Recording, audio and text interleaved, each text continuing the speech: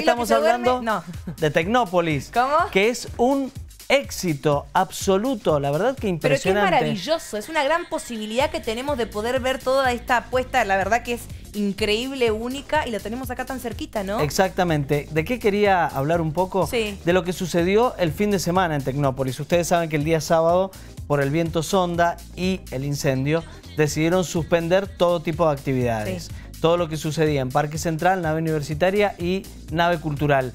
Eh, se suspendió totalmente, pero el domingo se reanudó la actividad, se abrieron las puertas al mediodía y estuvo abierto casi hasta las 22 horas, cuando en realidad cerraba a las 21.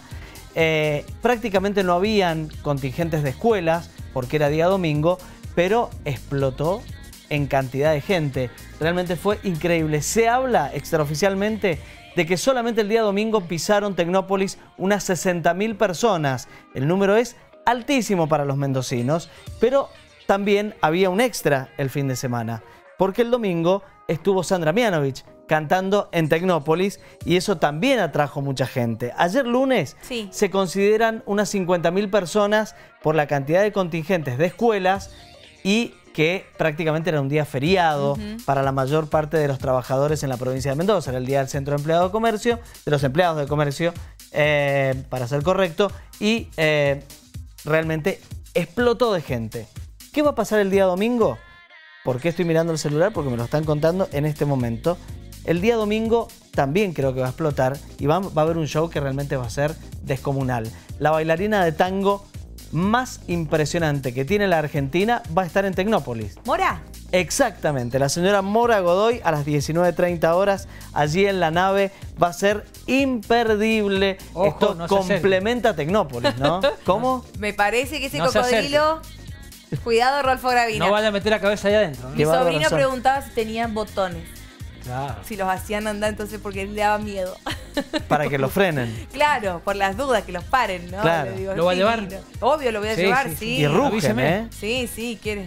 ¿Cómo? Avíseme cuando vaya. ¿Usted también quiere ir? Y vamos con la familia. ¿A llevar a los chicos? No, no, mi nena va el jueves, el jueves a la mañana. Con la. Para escuela. mí es Con la escuela, maravilloso. Con la escuela. Creo que no, que no tendría que quedar ni un niño de Mendoza que no tenga la posibilidad de, de poder ver eh, este gran, eh, esta gran puesta que tenemos aquí, que es fantástica. Para todos tener en cuenta, de 9 de la mañana a 18 horas, a veces quedan un ratito más, depende de la cantidad de contingentes, pero el cierre es a las 18 horas, de lunes a jueves. Sí. Viernes, sábado y domingo el horario se extiende Sí. hasta las 21 y sábado y domingo abre a las 12 y eh, Ah, un poquito más tarde, Hasta las sábado y 9 de la noche. Así Ah. que eh, lo tienen que hacer ya. Vayan con tiempo, vayan tranquilos. La zona, no voy a decir colapsa porque no es la palabra, pero sí el tránsito aumenta. Hay muchos preventores, hay mucho cuidado en la zona.